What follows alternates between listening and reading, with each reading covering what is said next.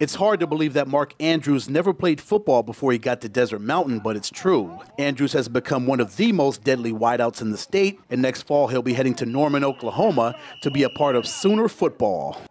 I really grew up a, an Oklahoma Sooner fan, and um, you know it's just one of those things where you know I'm a Boomer Sooner, and um, you know I love the coaches there. You know I, I feel like they're very friendly and honest and true, and um, that's another thing that attracted me uh, to that school they run kind of the same system we do here at Desert Mountain, and they see me kind of uh, spreading out wide and, and, be able to high point balls and, and that sort of thing. And that's something that really intrigues me because that's something I'm very good at is uh, being able to get the ball on an iron route or you know being able to go deep and, and that sort of thing. And that, that's really what it, uh, intrigues me he adds a, such a different aspect to the game that most teams can comprehend at his, at his size, his speed, and athleticism that they don't know how to scheme for him, they don't know how to cover him, and it usually ends up biting him in the butt if they try and scheme for him and cover them. So, I mean, he just adds so much more to the game.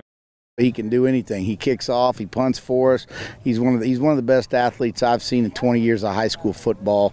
He's, he's going to be an outstanding young man at Oklahoma. Also, on and off the field, great kid.